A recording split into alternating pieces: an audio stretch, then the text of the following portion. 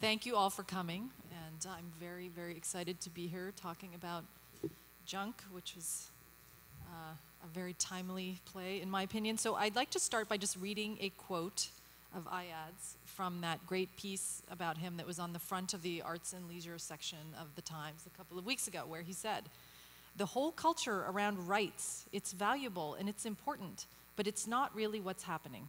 Identity politics on both sides have, has the nation consumed and distracted from the real story. Money is what's happening. So, as a journalist who covers uh, the intersection of sort of finance and the real world, I completely agree. And, um, you know, I think this, this play is extremely timely because it really does help shed light on the ways that high finance are actually influencing everything going on in ways that we don't always see. So, I wanted to start by asking Ayad, first of all, if you could describe the world mm-hmm. uh, of this play and also how you became interested in this world. So, so uh, thanks, Sheelah, and uh, thanks for coming, guys. Uh, the play is set in the uh, in the mid '80s, and you know, uh, Doug and I felt pretty strongly that the uh, insistence on period was not uh, something that, that we should focus too much on because you know things haven't really changed. I mean, it it, it would be one thing to sort of uh, you know send up uh, you know high finance in the 80s and sort of say, oh God, you know back then look at what they were doing and all of that. Well, the things that was felt egregious or new or confusing or disorienting or disruptive or remarkable or very lucrative at that time are just de rigueur now. They're just the way every every business is run. You know, I mean, just a really simple, small example in the in the 70s, two percent market share was justifiable uh, antitrust regulation situation. You know, now 60% market share doesn't even represent, a, you know, a, a, monopoly. So, you know, times have changed so much that the beginning of this movement to monetize and finance everything, uh, to treat uh, money like uh, basically, you know, to leverage 30 to 1, 40 to 1, whatever it is, all that stuff, that's now become the way that we live. And so we, we wanted to tell a story about how that kind of came into being, if you will, even though this isn't necessarily the only story of how it came into being. But it wanted to tell an entertaining, vivid, moving story about it. So. So, so when you when you meet someone on the street and you try and explain what risk arbitrage is, which is something I used to do before journalism, often their their eyes kind of glaze over, and it's really hard to explain it to people who don't follow this. So, I wanted to just ask, how did you um, how did you learn about this? How did you even know what a junk bond, which is also called a high yield bond, uh, just to impress everyone with my knowledge. Um, how did you even learn what that was? My, my dad and when I moved to New York in my early 20s, my dad made a deal with me. He said, if you read the Wall Street Journal every day, I'll pay your rent. Mm-hmm. So I was. Oh, sweet deal yeah. that I would have taken. He, yeah. He's a very smart guy. He knew I liked to read, and he and my mom were trying to figure out, you know, this kid is reading this poetry all the time. What is this? Mm-hmm. How is he gonna? Where is the kid gonna make some money? I, you know.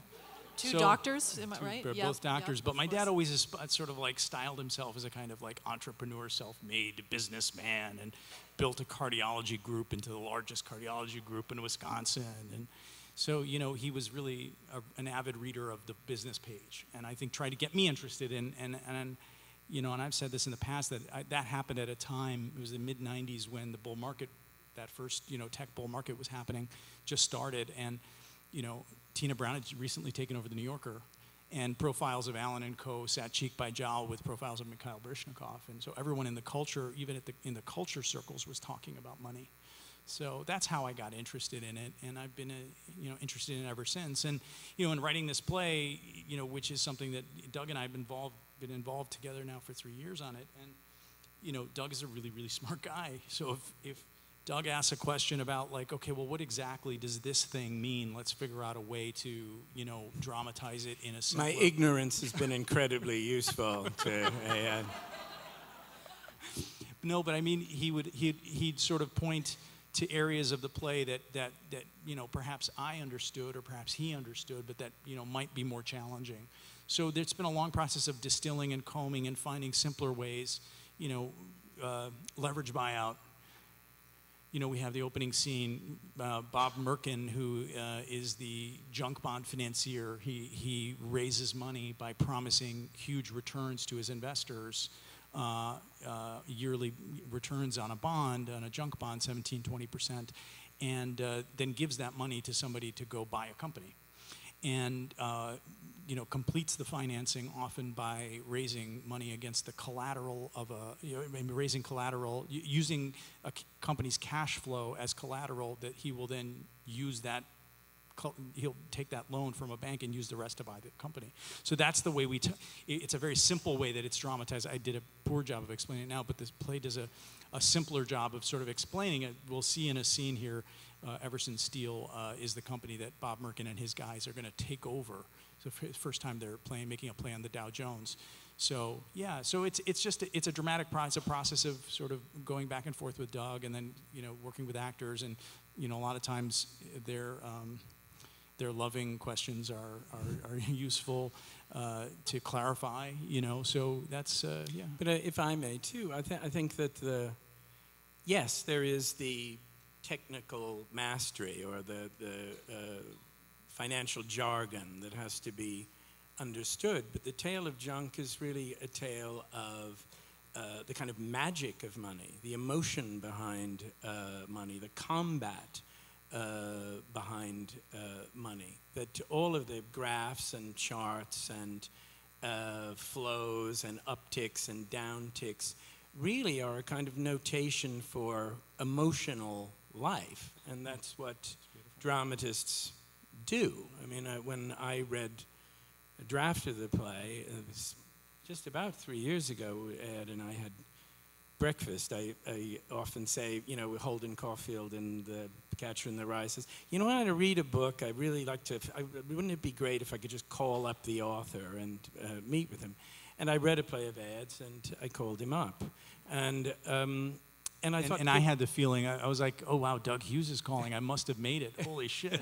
but there was a there there in front of you know I asked him what he was working on, and it was a play about it wasn't finished and it was very different, but it was a play about something that troubled my sleep, and I think that's what dramatists do. They write about the things that trouble our sleep and bring them on stage, and perhaps not knowing it uh, I realized that I felt as though I was living in a world where the market had been deified and there was no other civilization except the financial civilization. That's a good thing to write a play about. And so, how did the play come into your hands in the first place? Did someone think that you would be? I think Ayad handed it to me. he slipped it under your Well, door. well, the thing was, I had finished a draft of this play, and I was very excited. It was a very big play. You know, I, I, I had had the, the astonishing and shocking and bewildering and, and still at times hard to believe good fortune of winning the Pulitzer.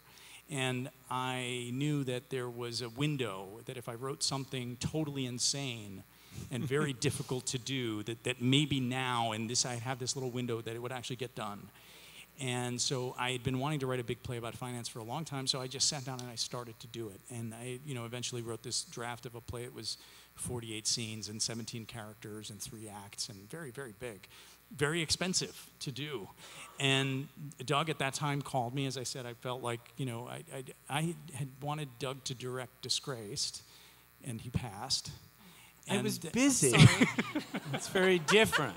Have you forgiven him? for that? Yes, no, no. I, I had no expect. thing. I had no expectation that he would. I just, you know, he's Doug Hughes, you know. So, and uh, then, and then, I had written another play called The Invisible Hand, which I had also. I, I showed you a picture. I had a. I, I'd written a po- on a post-it in But you 2000. didn't send me that uh, one. On 2000, 2011, I wrote on a post-it "Invisible Hand," directed by Doug Hughes, and put it up on my Oh. on my desk. So, so eventually, I got to work with Doug. But, but so when we had breakfast, I we were just talking, and I was, you know, I knew I wanted to share this play with him. It was just a kind of serendipity, and uh, he read it and uh, he liked it. So that was that was great. And that, that is, you know, it's very, very unusual. I mean, when we go into previews uh, on the 5th of October, there, that's 23 people will be on the stage. And that we're living kind of in an era, I mean, they're marvelous plays being uh, written in America right now. But it's very rare you get a crack at a play of that uh, sweep. And um, yeah, Ayad really was attempting to write a, a history play, or as I often like to say, a war play about finance. And so I'd love to know from both of you what uh, what you read, what you watched, consumed. Uh, we spoke briefly about Trading Places, which is this amazing movie with Eddie Murphy about commodities Great trading. movie. So one of my favorite movies, but um, and also Orange Working Girl. Juice Futures. Yes, Orange Juice Futures. It's so great. But what what did you? I mean, because it's I'm always intrigued by people who are able to translate this world into kind of cultural products. It's not easy. Um, so Well, there was a long process of sort of, of you know, I had read an article about uh, the CEO of VW committing, no, not the CEO, uh, a, a major investor in VW committing suicide when a takeover by Porsche went awry. And that sort of gave me this spark, this was a few years back, of, okay, the human stakes of a takeover battle. You know, and I was deeply impressed as a child, as a sort of late adolescent by Wall Street, and you know that, that the movie with uh, with Charlie Sheen and uh, and and Michael Douglas. So I think that that was always kind of a template too, in a way, um, to have a charismatic figure at the center of a very large story about a takeover. Um, and then I, you know, the, the- in getting into the weeds on mergers and acquisitions and the way that fi- that takeovers were financed, I suddenly realized, oh, right, debt. That's what made it possible. You know, there was never there was never this kind of appetite or like debt was never an acceptable thing in the way that it became in the 80s. That was the shift, and somehow, you know, Doug has has, has commented on this very eloquently. He says, you know, debt allowed money to be the thing that the only thing to be of, value. You know, this paradoxically, it's like this thing that's not money, that is money, of course, because that's what debt is, but this thing that isn't real money is the thing that transforms all value into money. And so, anyway, that's a very abstract philosophical concept, but it felt very pregnant.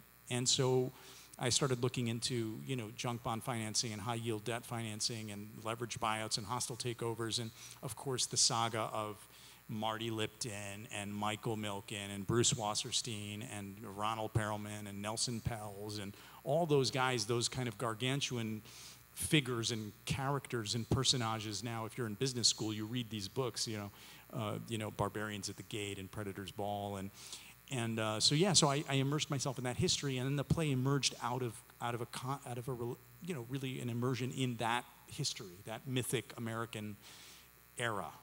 So did you make a reading list for Doug and tell him that he Yeah, should Yeah, there were a couple of titles. I mean, I had never read. I mean, I'm sure many in the audience know that uh, Den of Thieves is an incredibly compelling uh, book uh, about Michael Milken and Drexel Burnham, and so is uh, The Predator's Ball uh, by uh, Connie Bruck.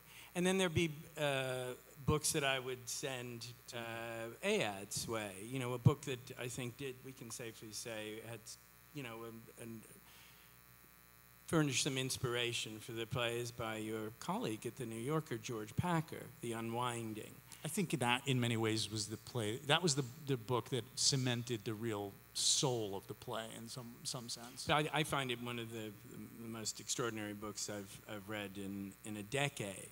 And the, the great commitment to look at what was going on in Tampa, what was going on in Warren, Ohio, uh, what was happening in the mountains of uh, West Virginia as the world became financialized.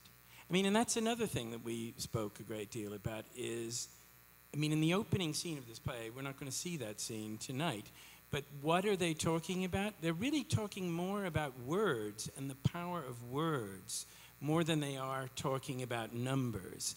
That let's assign uh, various values to our experiment in finance. Let's make it about hope. Let's make it about ambition and um, Change, Yeah, renewal. change, renewal, reform. And these words have power. They become incantatory. That's why I, I have thought about the play really is the fact that there is a kind of spell being cast. Because we really are talking about pieces of paper. And in the paper, in the play, the guy who, the, the, the central financial uh, genius of the play is put on the cover of Time magazine and the tag Time magazine uses uh, when he lands on that cover is America's Alchemist from nothing something. Yeah, debt from nothing, something. I guess it's worth mentioning that George Packer's book was very, uh, it was very effective at sort of showing what happens on the ground when all this financialization occurs and then everything blows up, as it did in the financial crisis. He really did a good job of sort of charting the way people were just slipping out of the middle class, losing their homes. I mean, it was very moving. Yeah. So, so can you describe a little bit how you work together, sort of on a daily basis, what the, what the back and forth was like? I write a scene. Doug reads it, tells me it's not any good, and I should write it again. Uh, no, you know, Doug. Doug has been. Doug has. Uh, Doug has continually pushed me, and I think Doug recognizes my ambition to write uh, a play that can get its arms and its heart and its mind around our cultural moment. In a, and I think he rec- he is. He has the the intellectual capacities to imagine that space and sort of lead me in that space. And so he has constantly prodded me and pushed me, and and uh, you know at times has sort of compared the play to much greater plays and has uh, stoked my ambition to work harder.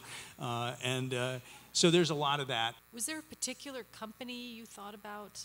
Uh, it's it's really poignant watching watching this um, fam- steward of this family company suddenly sort of blindsided by these fancy financiers from New York and their debt and their tricks. And um, of course, you really see what where this leads. This leads to jobs being lost and plants being closed and things being outsourced. So.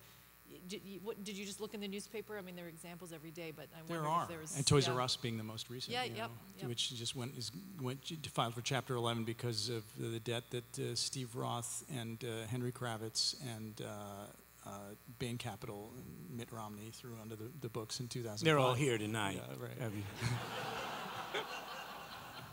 So pointed, pointed, yeah, pointed criticism there.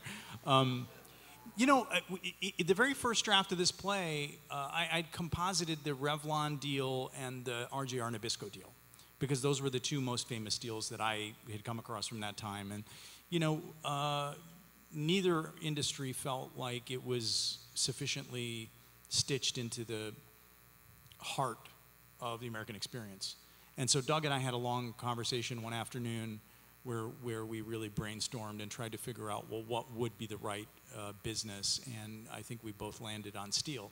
So then I did a deep dive into the steel business, and uh, it turned out that this was a, this was a pivotal moment in, in steel and manufacturing in America. And so that became the central thrust of, of that part of the play. And so um, the, the kind of uh, M&A takeover, leverage buyout frenzy of the 80s, the, the milieu where Milken himself operated, and he really helped usher this era of um, incredible borrowing, these new ways of companies to borrow money and expand and gobble up their competitors.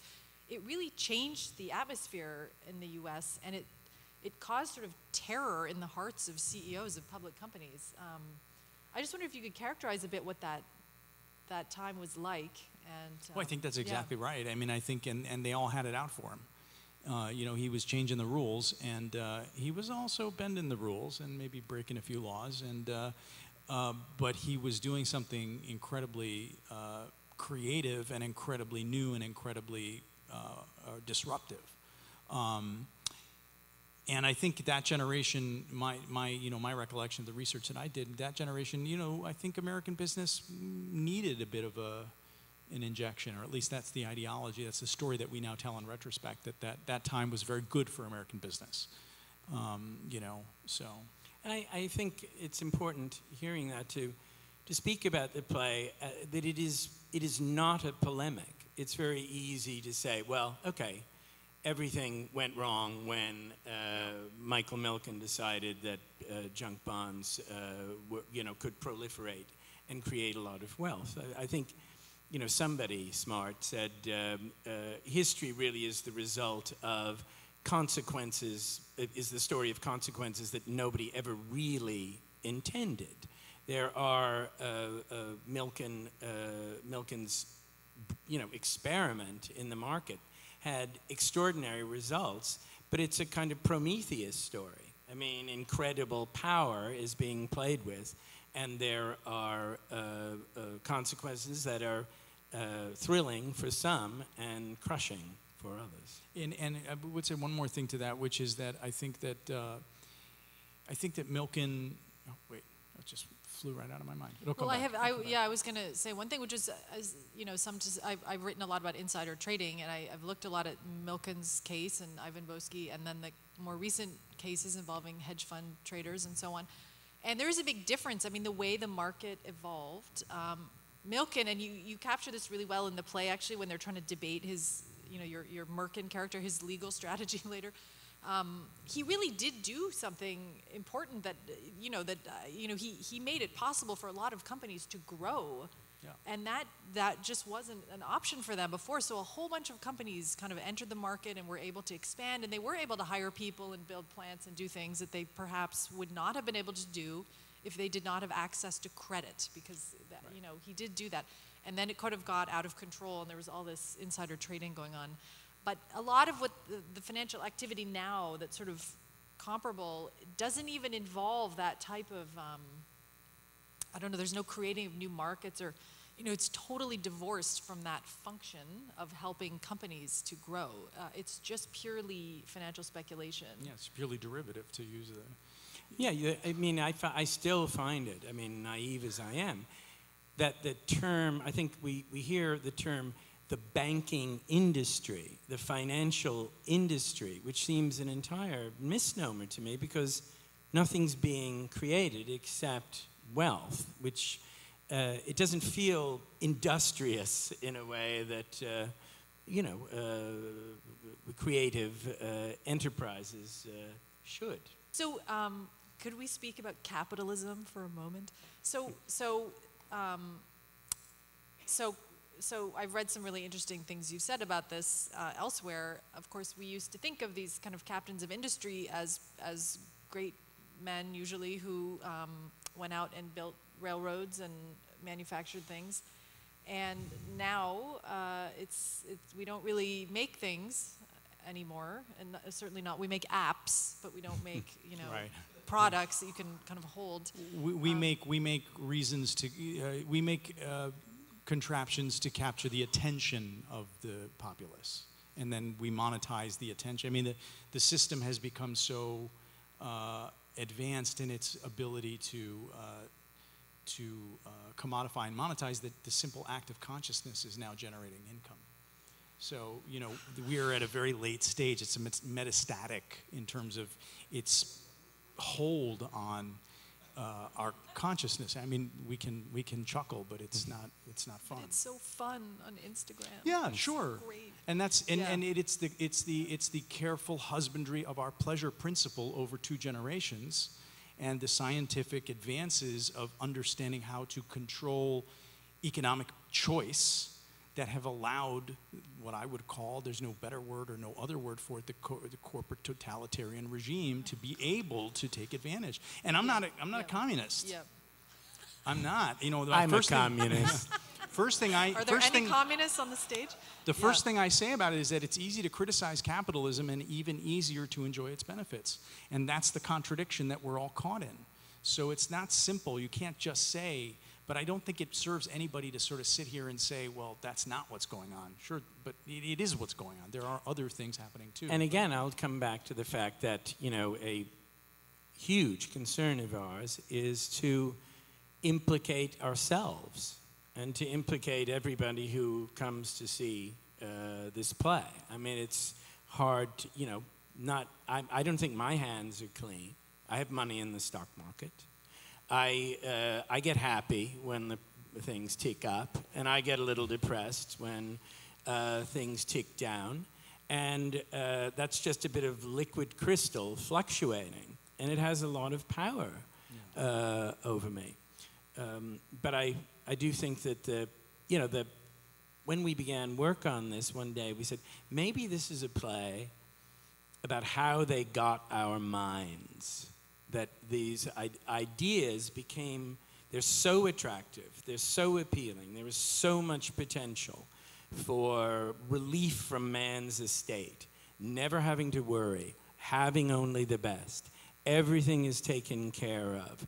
Your fear is banished from your life. Uh, that it just uh, kept growing and growing and growing. So, so um, debt was was sort of the gateway drug to this world. Yeah, it was. And, yeah. John Guare said a beautiful thing. He said, What happened in the 80s? We no longer had a mandatory draft, and everybody got a credit card. slippery no longer slope. a mandatory confrontation with death, but an, an, an embrace or sort of release into eternal bounty through credit. And I think that that is a fundamental psychic shift in the American experience. So, yeah. We're not a society of stoics anymore. yeah. So, There is comedy in the play, by the way. oh, it's case. very Yes. funny. It is Just very no, funny. no. I mean, it, Yeah. it's you know, it, it may sound we, we we huddle in Doug's office and you know plot our our trenchant critiques, but but they're they're Yeah. married to they're married to a But we, desire all, to give. we also punch up the laughs. We really do. Yeah. So, what did you think about when you were um, casting for these roles? I mean, wh- you know, all of them, but I mean, I think about Merkin, I think about Tressler. I mean, what? were- Who did Well, you think about? I mean, I think wo- that to speak of uh, a quality that I think is required of everybody in the play. I mean, they, uh, you know, I hope Ayad won't uh, be troubled by my making this comparison, but the play has Shakespearean demands. It's a, it's a language play. It requires a kind of, uh, you know, warm hearts and cool heads and uh, a mastery of, uh, of, this, of this language and a willingness to actually take a, a dive, perhaps not as deep as Ayad's, but deep into what is really uh, being discussed.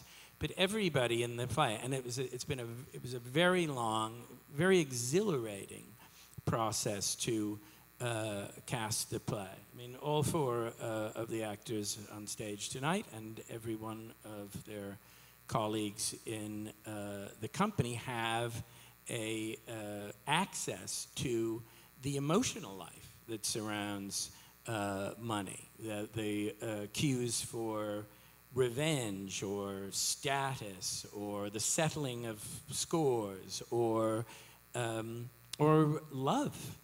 I mean, I think uh, uh, the money often substitutes or is a vehicle for the expression of love, and it is, in fact, in this play that's uh, seen.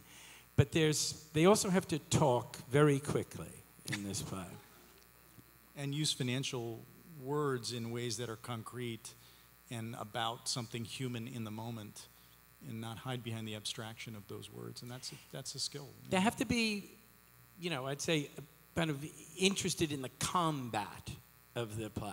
It is not a naturalistic play.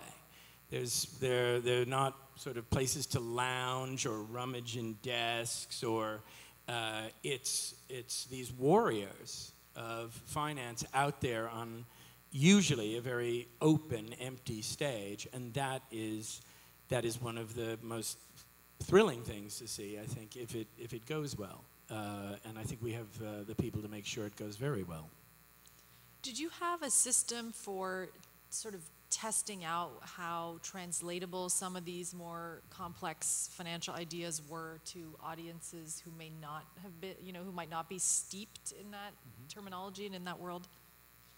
I mean, yeah, I think we did. We, I mean, the, the development process entailed a lot of readings and a lot of exposure to the audience before we did uh, uh, full production at La Jolla. And uh, Doug and I were there every night at previews. And, uh, you know, well, you can learn a lot from sitting with an audience watching your work because you can kind of sense when the audience is checking out or doesn't understand. And people will come and ask you questions afterwards. And they're like, I didn't get that part. And then you kind of figure out, oh, they didn't understand this thing or that thing. I think we have more of that work ahead uh, in previews. Um, but uh, yeah, it's been a, it's been a long process of ironing out the the uh, the creases where people's you know attentions might get lost because of their worry that they don't understand something. And I think the climate in the room uh, is very ruthless about making things as clear as possible. uh, to somebody who is not steeped in it. And that uh, climate is really set by Ayad, who I must say is.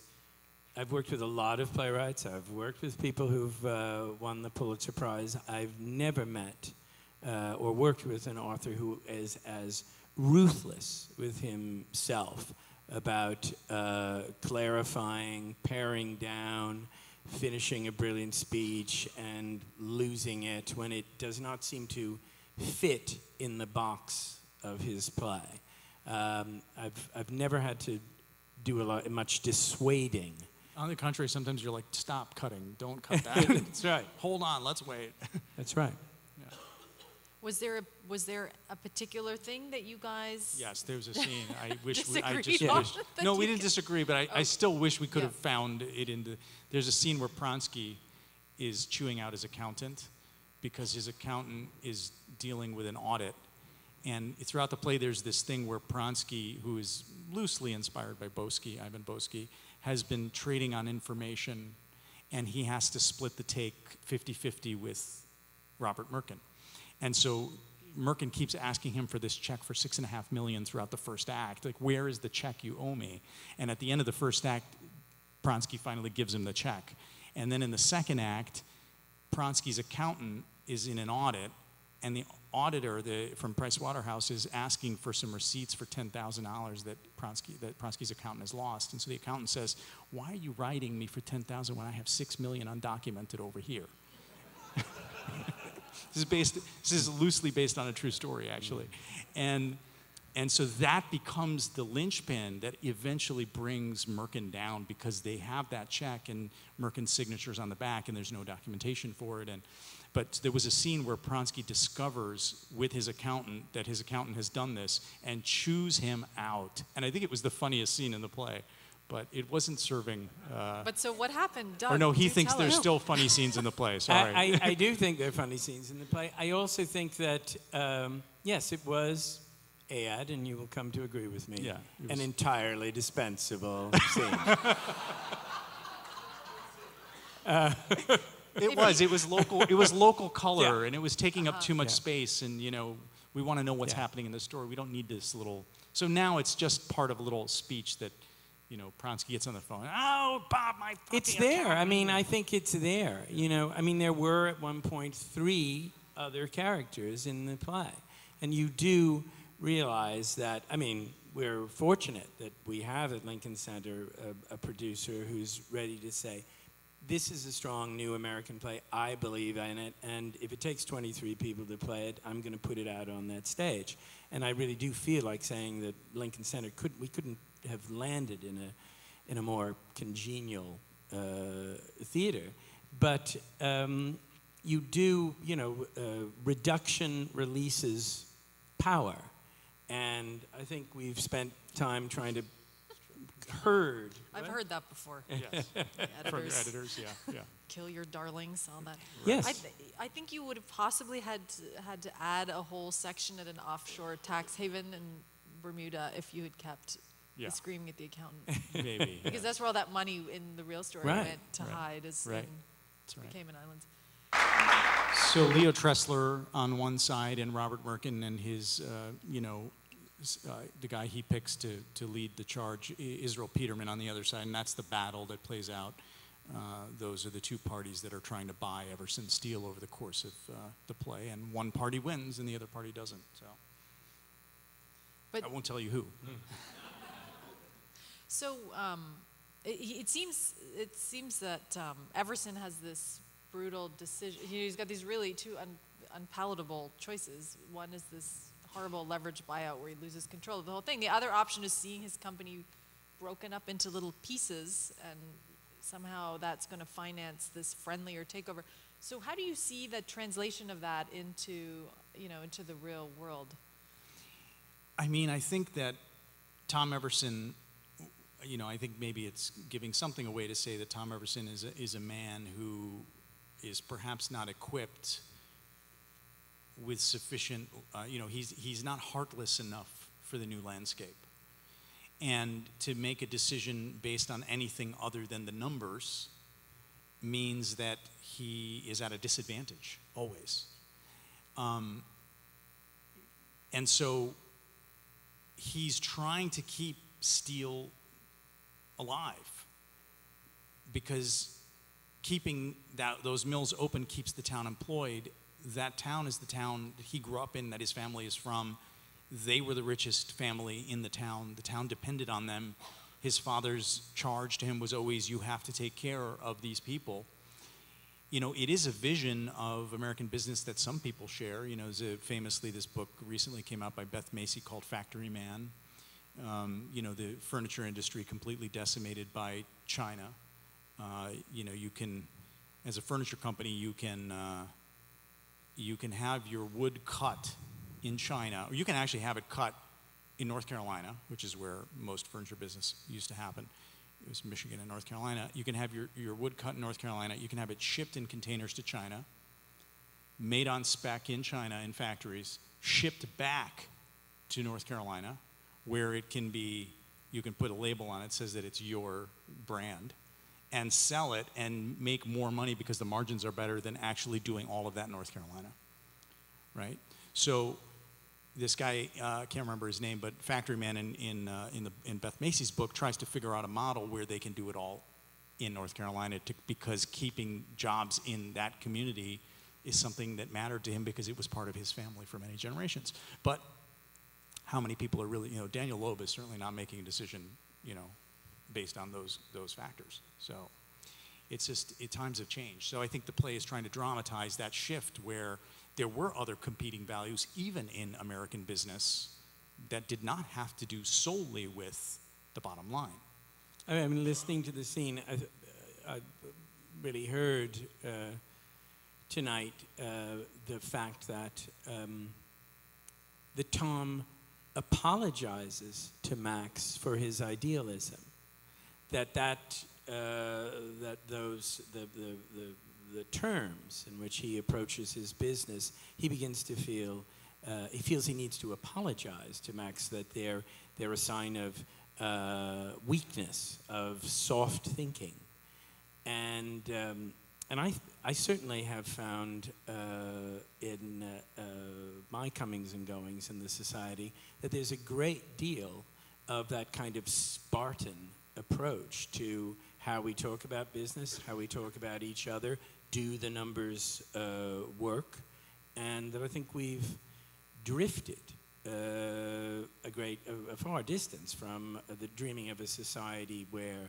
uh, basic social needs are, are met and a bit closer to one in which um, uh, ac- individual acquisition is glorified. Well, and there's been a real shortening of the time horizon for right. investors and, and therefore companies who have investors to answer to. So, of course, we see here Mr. Everson has this plan to convert all the mills into some other more efficient, new te- high technology sort of system, but no one has the patience to make an investment like that. And we can see that reflected everywhere from the crumbling subway to, you know, the fact that. Yeah, I mean, I think it's very observable that our, our world seems to be allergic to the idea of the future. Like, you know, we don't want to plan for it. You don't want to think about it. I mean, it's in that uh, uh, first scene, you know, first quarter, second quarter, and that's about as far as our business, our, our, our consciousness reaches. So, so my editor has a, a term. Uh, he calls it Trump adjacent. So whenever we're, we're come up with stories to do, he says, "Well, that's Trump adjacent," by which he means it's not about Trump directly because there are too many stories all about Trump and his family and so on. But uh, you know, we're always looking for pieces we can do that are about that help explain why we have Trump and why he's the president. And a lot of those stories, most of them are largely economic stories. So I wanted to know if you thought that junk was somehow Trump adjacent in that way. Does it help explain? Does what's going on here and the way it plays out, uh, you know, over the last few decades, does that help explain how we got to where we are? I think that you know Chinese have a wonderful the Chinese have a wonderful proverb says in the in a house where the son kills the father the causes do not lie between the morning and the evening of a single day. Uh-huh. Right. so so I think that what I'd say is that anybody who has been a close observer of the landscape, the psychic landscape uh, of this country with, with some understanding of finance has would have seen this coming a long time ago. You know, a Walmart moves into a community and 86 cents of every dollar spent in that Walmart leaves that community. So many adjacent businesses are killed by the presence of that big box store and wealth is leaked out of the landscape. For what? To the benefit of the shareholders, most of whom are family members of the Walton family. That's shareholder rights. That's American democracy at work. There's something fundamentally, it's an aberration on some level. And I think we're seeing the blowback. Uh, it's, a, it's kind of it's an odd thing because the blowing back is actually only accelerating the same process. Because we've put into office people who made their money at this era doing exactly this. These, this is, these are the guys. Yeah, no, Merkin is running the Treasury Department Yeah, right now. It's yeah. kind of amazing. Merkin, Yeah. Wilbur Ross. I mean, Yeah. all of them. It, these are guys who came of age in the 80s doing exactly this work. And if, So- I, I'm, if I'm not mistaken, I think uh, somewhere along the line, our president said, before uh, he was a candidate, uh, I love debt. I'm the king of debt. Um, and I, I, yes. it's a and passion. bankruptcy. Yes. Yeah, and bankruptcy. It's a passion for irreality. We have, we have become a nation passionately addicted to irreality. And I think that the advent of debt at the beginning of the 80s was the f- harbinger of this passion for the unreal. So, um, do you think so? So, as far as I mean, I'm curious to know if you think that you may tackle s- this subject again, both of you. Oh, maybe. Yeah. Maybe. Well, I, I'm in the spring. I'm going to do a play uh, called Dan Cody's Yacht. Dan Cody's Yacht is something that figures in the great, great American novel, The Great Gatsby, and it's the yacht that Gatsby swam out to as a young man. Uh, it's a wonderful play by a guy named uh, Tony Giardina, but it's about aspiration and who gets to get educated in our society. What, how can you get, how can you become a member of an elite? How can you get there? Whether it's the conference of an Ivy League degree or whatever, and it's it it does have to do with uh, uh, on a on a much smaller scale, on a kind of living room scale. This play is played out on you know both coasts and um, involves many sectors of uh, society, the press, in addition to uh, banking and uh, the law and uh, federal law enforcement. Uh, but uh, Dan Cody's yacht happens in in rooms, and it's about the the school the the tension that parents and children feel about whether there will be such a thing as a future for them. So I'm just having a blast all year long. Do you? I, I had you. You have. Um, you know, so much of your prior work is, is dealt very directly with spirituality. I'm curious to know if you see spirituality in the financial world at all. I'm trying not to laugh at my question, but it's just No, no, I think it's an, I think it's an important question. I mean, I think we, as somebody who's interested in, for lack of a better word, uh, you know, why we're here and uh, what the truth of that may be, um, it's really very perplexing to understand, to see how the world is constructed. It doesn't seem to make any sense. Um, it seems that, uh, you know, difficulty and uh, suffering and a great deal of dysfunction and mediocrity and evil really are in a s are always seem always to be in ascendancy somehow. And so, anyth- somebody who's trying to figure out what in God's name is going on here, I think uh, naturally gravitates to a study of the world, or in some some cases, a retreat from the world. But my reaction's been the opposite. I want to know what is going on. I want to understand it. What is what is this? What is it? What's going on? So I think that's the you know, I think, you know, the, the Sufis and the Kabbalists have this idea that if you can hold two opposing ideas, well, Fitzgerald actually has this. He says the test of a fine mind is to be able to hold two opposing thoughts at the same time and still be able to retain the ability to function, right? And I think that's a great dramaturgical principle. That if you can hold opposing points of view, I think you sometimes say about this play that the last person who spoke Yeah, the plays I like the best are the ones in which you agree with whoever has spoken last. Right. So that's the thing to aspire to. And if you can create a space where the audience legitimately can continue to agree with the last person who spoke, that kind of sort of expansive way of seeing and feeling, I think, can have an effect when you walk out. So.